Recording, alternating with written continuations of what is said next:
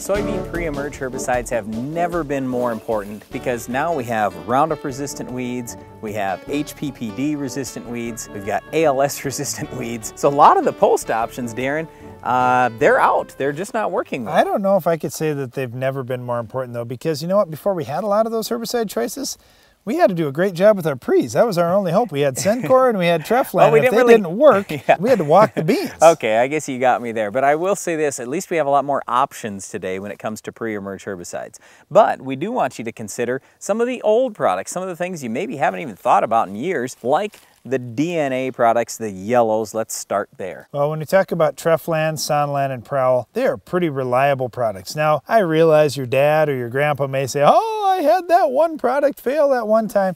You know what? If you use the right rate, you get them out there, you get a little bit of moisture on them, you're going to have a great, great response from Treflan, Sonalan, or Prowl. Now with Treflan and Sonalan, they must be instantly incorporated. And when we see a failure with those products, which I have virtually never seen, it's always with the guy that sprayed them on and then came back later to work them in. And when you have products like that that have high vapor pressure, you just can't do that because if you have a hot sunny day, maybe a little breeze, you're going to lose a lot of that product and waste your money and waste your time. So when you're doing that, we like to put an incorporation kit right on a disc or a field cultivator or whatever tillage tool you're going to use. So we're spraying it on and literally working it in as we're spraying it on. That way you're maximizing the effectiveness of those products. With Prowl, that can be used in no-till. So you could spray that on and just leave it on the surface of the soil and it's going to be just fine. The nice thing about these yellows, the DNA products, they have activity on grass and they have pretty good activity on broadleaves. Even some of the toughest broadleaves that are out there, Palmer pigweed, water hemp, even a little bit on ragweed, we have some activity on a lot of those weeds. But I also want you to keep in mind there is a difference. The reason why Sonalan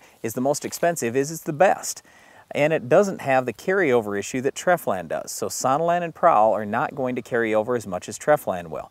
But we do encourage you to use at least one of these three products on most of your soybean acres if you can because it's a good way to get a cheap grass and broadleaf killer out there, and it's a completely different mode of action than the rest of the products we'll discuss. All right, well, I like two newer products to the market, Valor and Authority. Those products are fantastic, they're broad spectrum, and now they're being packaged with other herbicides in combination with them. So in many cases, like let's take Authority, for example, you can buy it with Sencor mixed in, that's Authority MTZ. You can buy it with Pursuit mixed in, that's Authority Assist. You can buy it with First Rate mixed in, that's Authority First. Well, if you pick one of those products, like I like Authority MTZ, say use Authority MTZ in combination with Prowl, now you have three modes of action, all with activity on your Palmer pigweed or water hemp species. Wow, that's a great way to start your program out, and you really haven't broken the bank to do it. Okay, let's talk about the Valor and Authority just a little bit more. The reason why we like those products is they don't have quite as much soil pH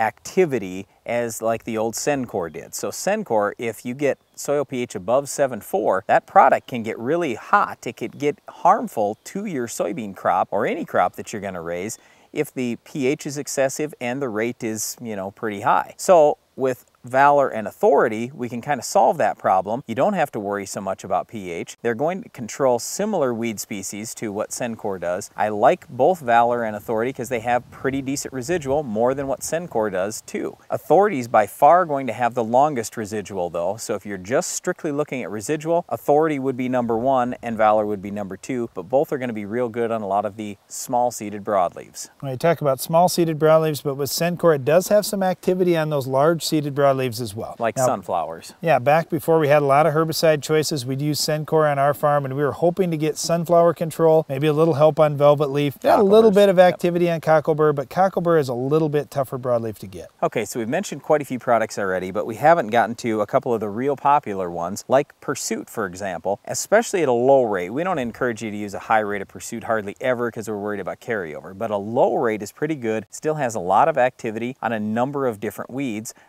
ragweed, buckwheat. There are a whole bunch of even lamb's quarters I can think of that Pursuit's going to help you on in addition to grass. Again, keep the rate low and be thinking about soil pH here too. Low pH is what we're most worried about. If you had a pH less than 5.5, that's where I'd be most concerned about carryover. It's not high pH with Pursuit. I also think about two products that could be used pre, but I want to save them for post, and that would be First Rate and FlexStar. And so there are combinations like Darren mentioned, Authority first. I really don't like using that. I'd rather save that First Rate for post-emerge. I think that's a better way to go. You've got other options you could use pre-emerge for those same weeds. Same thing when we start talking about FlexStar. I've got other options for the weeds FlexStar will control pre-emerge. I just don't have a lot of options post, so save that FlexStar for post. Okay, Brian, we've covered a lot of ground here, but here's the most important questions. How are you going to get these products on?